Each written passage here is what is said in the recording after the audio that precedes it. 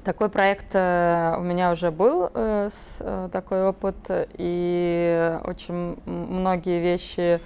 а, которые здесь происходили, я уже сталкивалась на своем проекте, когда делала а, свой образовательный музейный проект совместно с Музеем истории фотографии.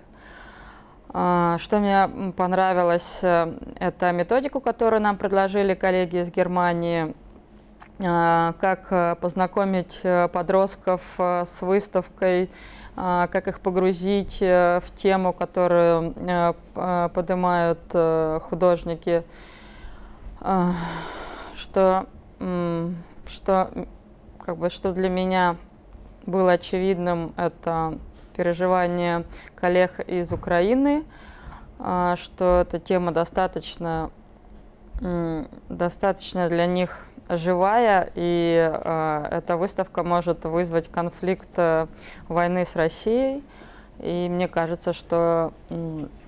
этим коллегам надо э, больше внимания уделить и, и во время ведения э, с подростками работать, и непосредственно с ними,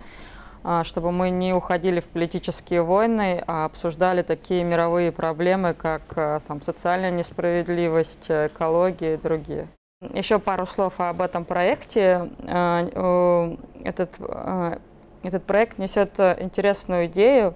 э, соединить старое искусство с новым искусством, соединить старое музейное пространство с, с новыми платформами, которые появляются в Минске, в Санкт-Петербурге, в Киеве, соединить